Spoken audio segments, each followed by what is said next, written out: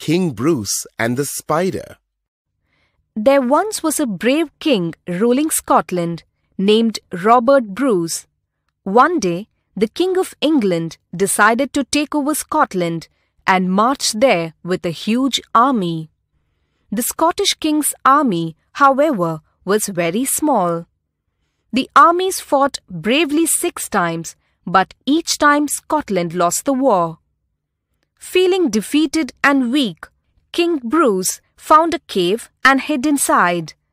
He considered giving up on the war as his body had no more energy left.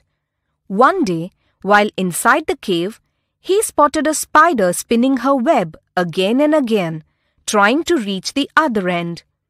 The web broke nearly six times because it was too thin.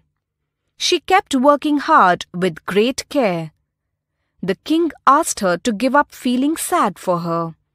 However, the spider did not give up, and on her seventh try, she managed to reach the other end of the cave, weaving a beautiful web. The king was amazed and encouraged. He felt maybe he too could fight and win his own battle like the spider had done.